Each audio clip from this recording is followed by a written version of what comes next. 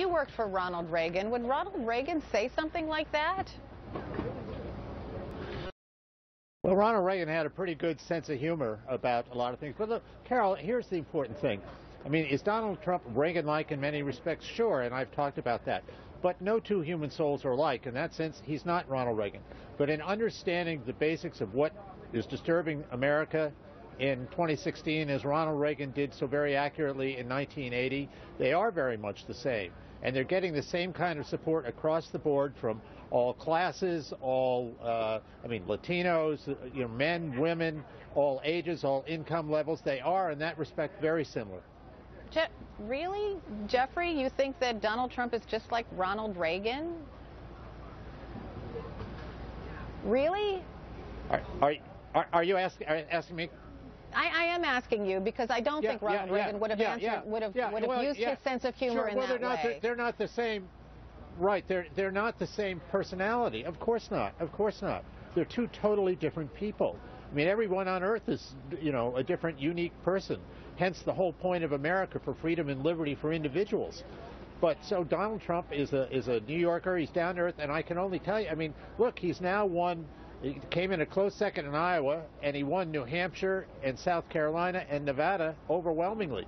I mean, at some point, we got to stop and think, why are people responding to Donald Trump? It's not just because of his insults. I think they see, you know, when he says things like this, I think they see a blunt honesty instead of a phoniness that a lot of politicians have. You know, when Marco Rubio talks about these kind of things and, and, and, and uh, being a con artist, I mean, this is the man from the Gang of Eight. I mean, a lot of people see this kind of thing as just political talk, and this is what gets us into trouble in the first place. But I think, Tara, last night that Marco Rubio did more than just insult Donald Trump. He threw a lots of facts his way. Isn't that right? Well, that's the difference. And to answer your question, Carol, no, Donald Trump is not anything like Ronald Reagan. Ronald Reagan wasn't a hypocrite bully imposter of the conservative movement, which is what Donald Trump is. You know, Donald Trump has been uh, misleading people all this time with this rhetoric and insults and this showmanship and this reality show caricature. He's tapped into anger with the American people, that's true. But if you, I don't know what has taken the Republicans this long to point out Donald Trump's record of hypocrisy on these issues. Uh, Marco Rubio is absolutely correct about pointing out that Trump used illegal immigrant labor to build the Trump Towers, that he's using illegal immigrant labor to build the, the project in Washington, D.C., that he stiffed small business owners and other folks during his four bankruptcies, you know, that, he, that, he's, a, that he's a vexatious litigant who just sues everyone whenever they say something about him or, or point out his behavior or his record on things, oh, he's going to sue them. I mean, those are not attributes that Ronald Reagan ever had. And the fact that people are now finally starting to hear what Donald Trump actually stands for in his own words and seeing it there, I don't know what took them so long. This should have been done six months ago.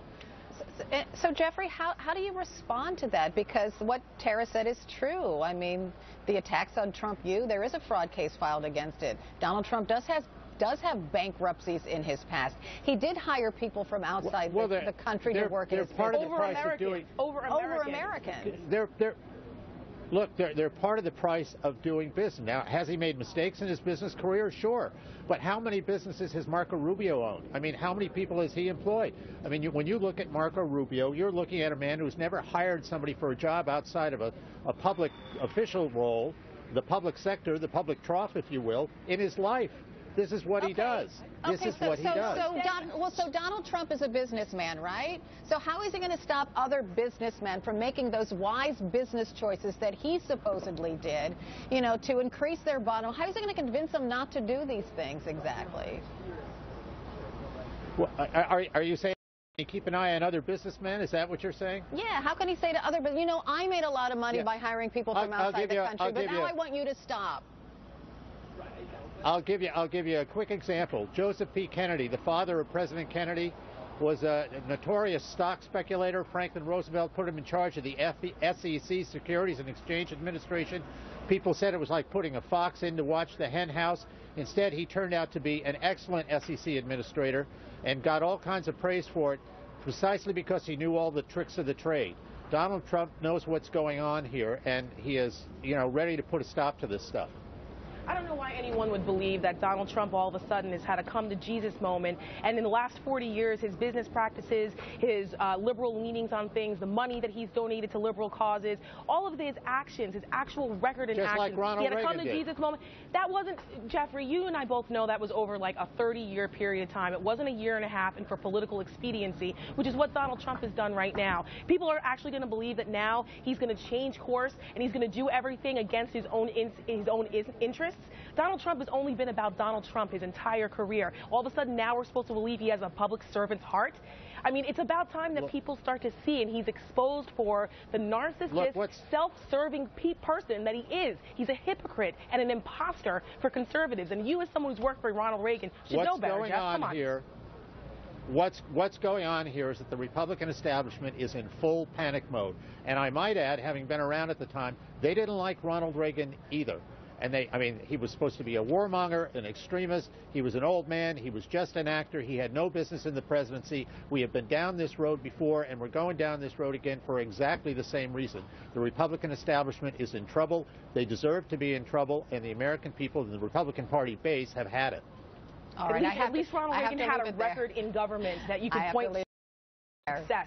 I have to leave it there. Jeffrey Lord, Tara Setmayer, thanks to both of you. Thanks, Carol. You're welcome. Still to come in the newsroom, Vice President Joe